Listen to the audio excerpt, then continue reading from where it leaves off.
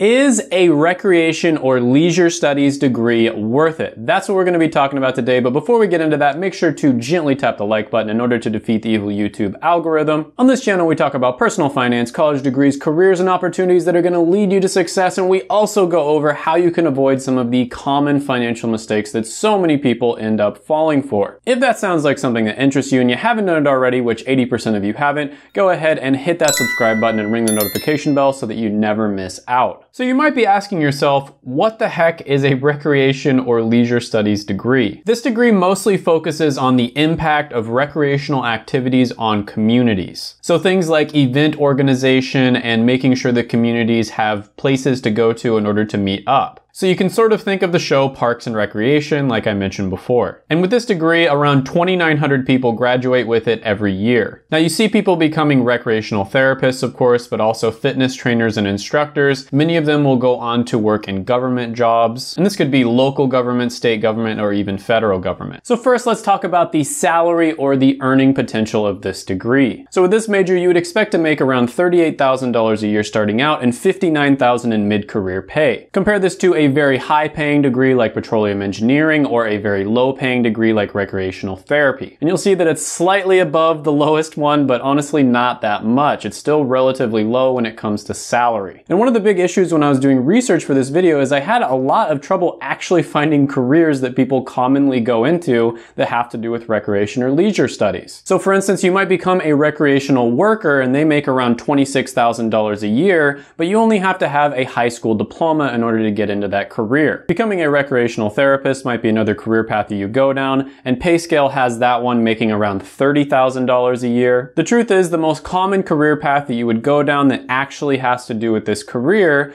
would basically be a government worker. So think something along the lines of the show Parks and Rec, somebody who works for your local government and they take care of all the, you know, parks and the forests and stuff around the city. Now, to be honest with you, there's a lot of other different degrees that you can get into a career like that with. And on top of that, there's not not all that much demand out there for people who work in the government in that particular occupation. Now with this one, I think it classifies as a liberal arts degree, and the average amount of money that people make over a lifetime for all different degrees is around 2.4 million. Liberal arts degrees, on the other hand, on average make around 2.1 million. And a lot of those people get masters or doctorates, so it's kind of comparing apples to oranges because of course you're gonna make more money with a master's or a doctorate. So I don't know how to sugarcoat this one. Um, I just have to be super honest with you guys. The pay for this one is not going to be very good. I'm going to give this one a score of 4.5 out of 10. Now we're going to be talking about satisfaction and I always put this one in two sections. The first one is going to be meaning and the second one is going to be job satisfaction. Meaning is how much you think your career positively impacts the community and job satisfaction is how much do you enjoy doing your job. So for instance, if you got paid to watch YouTube videos and gently tap the like button on them all day long, you'd probably enjoy that job quite a bit, but it might not not necessarily have a high meaning score,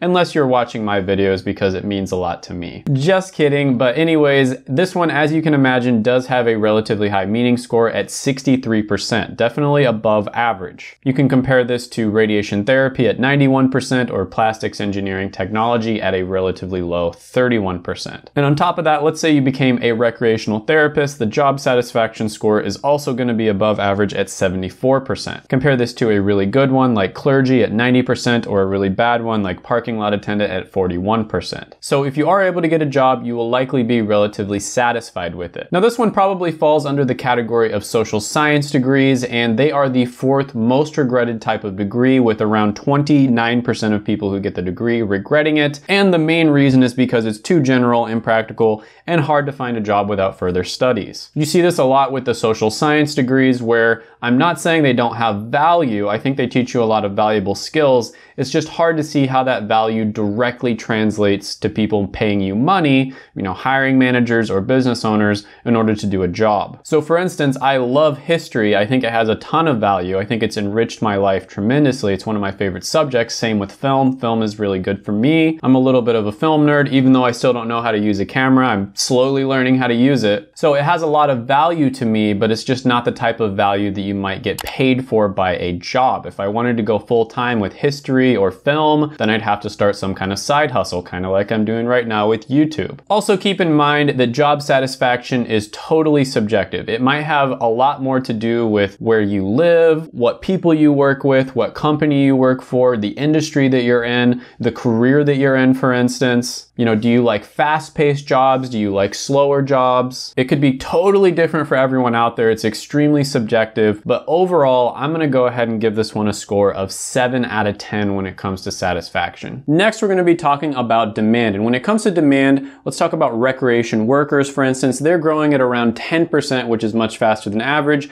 and that's with 417,000 jobs. So there's actually gonna be a, quite a few jobs that are created in the near future. 41,000 over the next 10 years. However, like I said before, that one only requires a high school diploma. Recreational therapist, on the other hand, is growing around 8%, but that's only with 19,000 jobs, meaning over the next 10 years, there's only going to be 1,700 jobs that pop up. And of course, I'm always super honest with you guys on this channel because I want you to make a really good decision for yourself and be informed. So the skill set that you learn with a recreation studies degree, although it might be very valuable, I'm not saying it's not valuable, when it comes to businesses out there on the open market, you know, supply and demand, there's not going to be much demand for it. The few jobs out there that you are going to be able to get are going to be government jobs, which can be tough to get in the first place. And then to be honest with you guys, there's not that many out there. And when you look this one up on monster.com, you type in recreation and leisure studies degree, only around 13 jobs pop up. That means only 13 job listings had that as a keyword. Compare that to a really good one like computer science that has 141,000 and one that's not so good like anthropology that has 829. So it's exceptionally bad. There's not that many people out there who are looking for people who graduated with this degree. Still, overall, having a degree, any degree, is going to open up a lot of opportunities for you. There's a lot of businesses out there that will only hire people who have a bachelor's and, you know, college degree. So I'm going to go ahead and give this one a 4.5 out of 10. Next, we're going to be going over X factors. And this is basically anything that doesn't fall into the other categories. So for instance,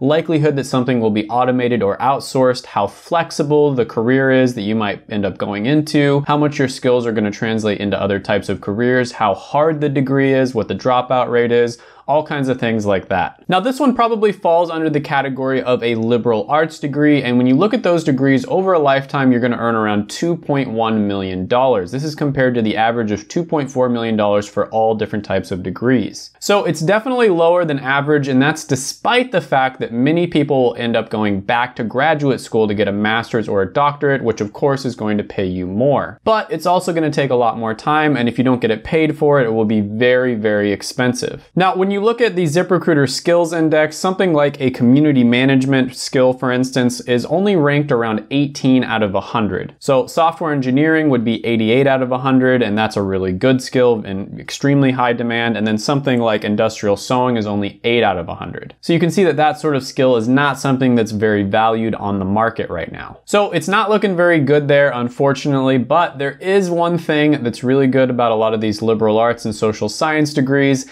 and it's that they will probably never be automated. So you probably wouldn't want to talk to a robot therapist, of course. If you're going to go talk to a therapist, you'd probably talk to a human being. So that's why a recreational therapist only has a 0.3% chance of being automated. It's also not very likely to be outsourced because you'd probably be talking to someone in person. Same thing goes with a recreational worker, only a 0.6% chance of being automated, which is very, very low. Now, when it comes to flexibility, how well this would translate into getting a job and a career that's totally unrelated, I'm not going to sugarcoat this one, guys. There's probably going to be quite a bit of bias when somebody sees that you graduated with a recreation and leisure studies degree. Regardless of whether the skills you learn are legitimate and they positively impact the community, a lot of people are going to be very skeptical. And whether they're right or wrong doesn't really matter for practical purposes. These would be people who might consider hiring you like owners or business managers. So overall, I'm going to have to give this one a score of 4 out of 10 when it comes to X factors. So the pros here are that it's going to have a relatively high satisfaction rating overall. I mean, after all, you are learning how to have fun. It's not going to be that difficult of a major. It's not going to be one where you're like an engineer and you're studying like 20 hours a day. And you get to actively assist in the well-being of different communities. The cons here are that there's going to be a low salary and income. And that's if you're even able to find a job because there's not going to be that many jobs out there. It's going to be really hard for you to find work, especially if you're looking to work in that field specifically without going to more school and, you know, getting a master's or a doctorate. So overall, I'm going to give this one a score of 5.125 out of 10. You know, I always say that you can make any degree work if you have a really good plan going into it. It's going to be pretty tough for you to make this one work, but you know, the same thing applies. If you know what you're getting yourself into, if you have a really good plan, you can definitely make this one work for you. If this is your passion, if having fun is your passion and you want to work for the government, you know exactly what job you're going for, you know, you want to be like one of those people on the show Parks and Recreation, then hey,